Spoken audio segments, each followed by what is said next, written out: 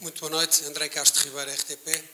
Pergunto-lhe, aliás, são duas perguntas, mas que entroncam no fundo numa, que é o final do jogo e o resultado, uma vitória para começar o campeonato. Tinha mostrado na antevisão deste jogo essa mesma vontade, mas também mostrado preocupação da sua parte, mais pelo timing de chegada dos, dos novos jogadores e que seria complicado essas, criar essas rotinas em tão pouco espaço de tempo, nomeadamente para este jogo. Uh, podemos dizer que correu tudo pelo melhor? Sim, sim, é verdade. Correu tudo, tudo bem, ehm, mas eh, mantenho aquilo, aquilo que disse. Não há, não retiro uma vírgula, isto é. Eh, há trabalho para fazer, os jogadores chegaram tarde, não importa o porquê, as razões, os jogadores chegaram tarde eh, e há trabalho que, que, temos que fazer, porque principalmente ao nível físico, porque os jogadores estiveram parados muito tempo, também por, por várias razões, lesões, não estavam integrados em, em nenhuma equipa, em nenhum grupo de trabalho. Eh, portanto, eh, jogadores que jogaram hoje, que chegaram na terça-feira, até o conhecimento que têm da própria equipa, dos colegas, do treinador. Portanto, tudo isto requer algum, algum tempo e algum, e algum trabalho. Essa é a preocupação. Eh, só que há uma coisa que está associada, ou seja, é a ambição que nós temos, que não iríamos de deixar de ter a ambição de vir a Braga, ou fosse que estádio fosse, lutar por, pelo resultado e lutar pela vitória. Isso foi o que fizemos e é o que vamos fazer. No, na próxima jornada temos um jogo muito difícil em casa e as duas situações colocam-se exatamente da mesma forma. Vamos ter dificuldades, porque precisamos de trabalho, precisamos de tempo para trabalhar, eh, mas a ambição continua lá. Ehm, não é por ganharmos este jogo que os problemas desaparecem, eh, portanto, os problemas continuam, mas, isto é que é importante referir, eh, tenho a certeza absoluta que, que o grupo de trabalho vai resolvê-los. Treinador, principal responsável, vai resolver os problemas, os jogadores também, com, com a, a, disponibilidade que eles têm ao nível do trabalho diário e, e a forma como, como entram na competição. Hum, portanto, as expectativas são continuam muito altas, como eu disse logo de início.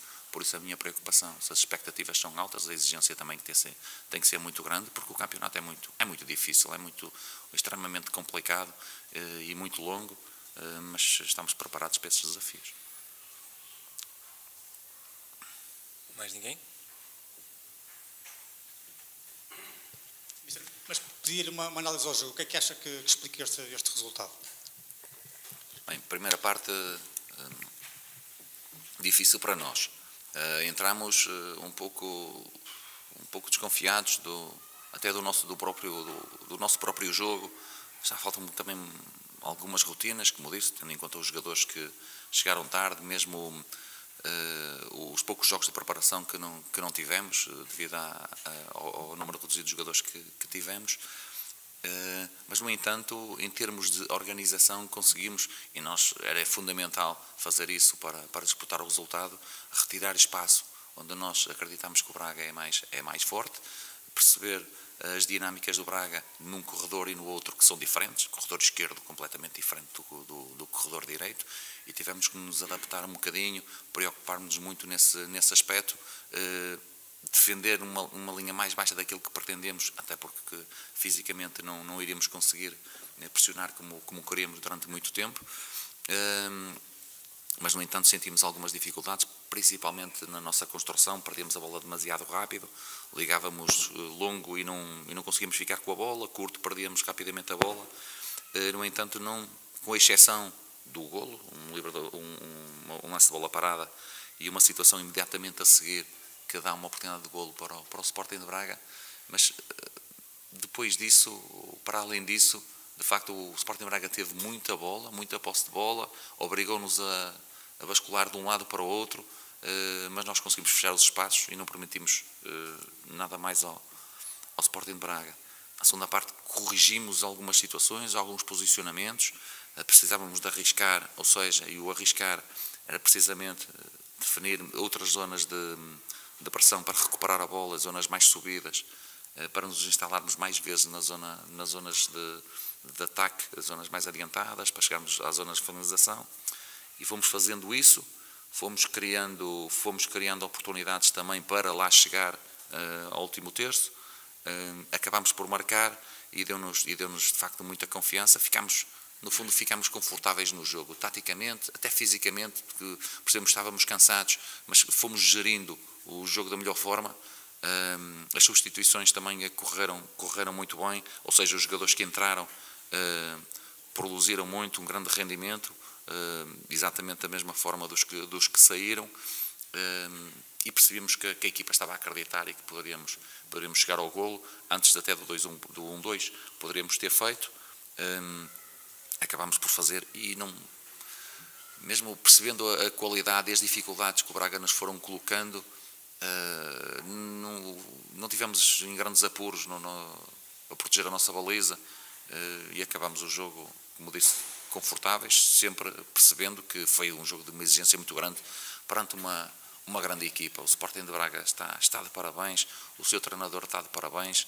uh, vai fazer um campeonato muito bom, vai vai longe nas, nas competições europeias, não tenho dúvidas, dúvidas nenhumas, eh, mas para nós eh, foi de facto um resultado muito, muito importante e muito especial. Aqui à frente, por favor.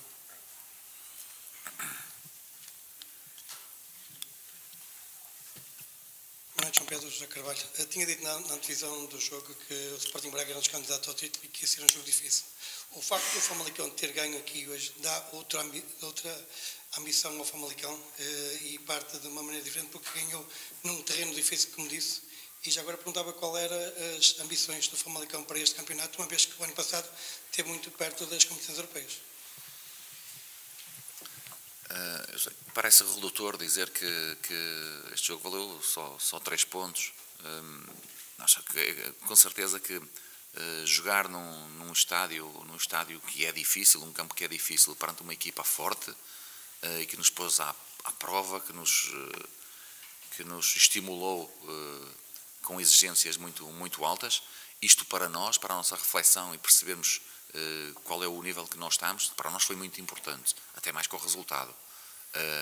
ganhar, somar três pontos na primeira jornada, num jogo contra uma equipa como o Sporting de Braga, que é, na minha opinião, o candidato ao título, ou um dos candidatos ao título, como é evidente, eh, sendo claro com as suas as armas e com adversários muito poderosos, mas no entanto tem, tem estrutura, tem equipa, tem treinador para, para disputar esse, esse, esse título. Um, eh, para nós, claro, que é de uma, é de uma, é de uma, é de uma importância muito grande. Uh, se reformularmos alguma coisa com este resultado, é evidente que não, nada, zero, completamente. Temos, uh, é, um, é um jogo, é uma jornada, é a primeira jornada.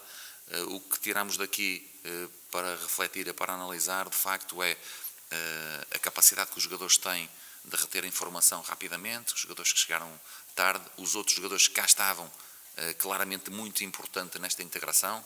Passaram também as mensagens daquilo que nós queremos, como é que queremos trabalhar. Quando eu digo o trabalho, o trabalho dia a dia, que depois levamos para, para a competição e aquilo que, que sempre prometi que íamos fazer, que era entrar nos jogos sempre com, com a vontade de disputar os jogos e, e disputar os, os, resultados e, se possível, eh, jogar bem, eh, sendo que num campeonato tão exigente será difícil eh, ganhar, ganhar os jogos todos. Difícil não, impossível ganhar os jogos todos. O ano passado tivemos, salvo erro, 13 vitórias, queremos fazer, queremos fazer mais. Eh, no ano em que ficámos em sexto lugar, em 19, 20, eh, fizemos 14 vitórias. Eh, é um número difícil, mas é isso que nós queremos. Dos objetivos, aquilo que, aquilo que me pediram, o que a administração me pediu foi o, o quinto lugar e uma, e uma, e uma final da Taça de Portugal. Eh, eu estou cá. Eh, não tenho medo de desafios nenhums, independentemente dos, dos, das dificuldades. Eh, sei que tenho uma equipa que, de trabalho que está pronta para ultrapassar essas dificuldades. É isso que nós vamos tentar, mas objetivos a longo prazo nem, nem gostamos de, de, os fazer dentro do balneário. temos um, já um, um, desafio muito difícil, que é com o Moreirense, em casa para a segunda jornada. Terminamos ali, por favor. Mr. Daniel Souza para o 0-0. Eu queria recuperar aqui a questão das substituições, porque pareceu uma questão chave para o desfecho do jogo. Um, questiono o que é que o Mister procurava com, com as substituições, se conseguiu tudo aquilo que pretendia delas e aproveito também para perguntar em que ponto está a integração destes, destas novas caras que foram chegando a conta-gotas. Bem, em termos das, das substituições, um, bem, o objetivo claramente foi, foi dar, dar, mais frescura e mais, mais agressividade no, no último terço. Um, tínhamos o Henrique, uh, o Henrique mais próximo, muito mais próximo do, do, do Cádiz do que, do que o Watson. O Watson também já está fisicamente, já estava muito debilitado. Portanto, jogador com características totalmente diferentes, ou seja, tentar bloquear a linha defensiva do Braga eh, para nos pressionar o jogo, o jogo interior. Eh, abrimos na direita ou continuamos com a largura com o, com o Afonso, que entrou também muito bem. E depois, em termos de características dos jogadores, e que alterou muito a forma de nós abordarmos o nosso ataque posicional, foi a alteração do, do Alex pelo, pelo Oscar. Ou seja, jogadores de, de, diferente perfil. Alex, jogador rápido, um jogador de ataque, de ataque muito ataque no, no espaço e na profundidade. Uh, jogador que trabalhou imenso, uh, que nos dá essa solução que também é muito importante. E alteramos pelo Oscar para jogar um bocadinho nas costas da pressão dos médios do Braga, um, para jogar entre linhas, uh, sendo que podemos beneficiar então com o Henrique encostado ao, Cádiz a tentar bloquear eh, no corredor central os centrais e a pressão que muitas vezes os centrais faziam a quem jogava entre linhas. Acabou por, por correr muito bem. Eh, deixe-me também referir os jogadores que, que, que de início também entraram, porque parece-me com certeza que, que eh, o, o que alteramos acabou por correr bem, mas o jogo estava. Nós estávamos dentro do jogo, porque estes jogadores fizeram um, um trabalho fantástico, os que os que terminaram o jogo e os que acabaram por sair, no caso do, do Pablo, do Watson, uma pressão na frente, ajudou muito, muito o Cádiz e o Alex teve um trabalho eh, fenomenal. Eh, eu na televisão, e passo, parto já para a segunda parte da pergunta, eu na televisão até falei que o Alex, o Alex treinou, teve oito sessões de treino, um tempo de paragem muito grande das férias, depois trabalhou sozinho, eu não estava integrado em, em, em, grupo nenhum, e eu até disse na televisão que ia pô-lo a jogar, mas sabia que ele não ia aguentar os 90 minutos, até pela intensidade que ele põe no jogo, jogador com muita intensidade, muito, muitas ações de, de alta intensidade e de, e de sprint, hum, portanto o, o, trabalho dele foi fundamental para depois o Oscar entrar e criar, e criar eh, problemas ao adversário. Uh, da integração dos, dos jogadores. Hum, complexo porque temos vários jogadores em etapas diferentes de preparação e dentro da preparação eh, temos que, temos que hum, introduzir eh, questões eh, de ordem, de de ordem tática, hum, mas vamos ajustando. Agora temos um, como temos o jogo na segunda-feira, temos se calhar uma semana, um microciclo maior para podermos trabalhar e para lentamente ajustarmos e ficar o plantel todo todo equilibrado, quer em termos, em termos físicos, quer em termos táticos. Mas penso que também é fundamental os jogadores que, que estão do, do ano passado eh, estão confortáveis com a nossa forma de trabalhar, a nossa proposta de trabalho é conhecida pelos jogadores, os jogadores que vieram do ano passado, eh, eles também vão passando muito dessa, dessa informação importante eh, e penso que rapidamente irá ser ultrapassada essa, essa dificuldade. Está feito, obrigado a todos, bom trabalho. Tá, obrigado.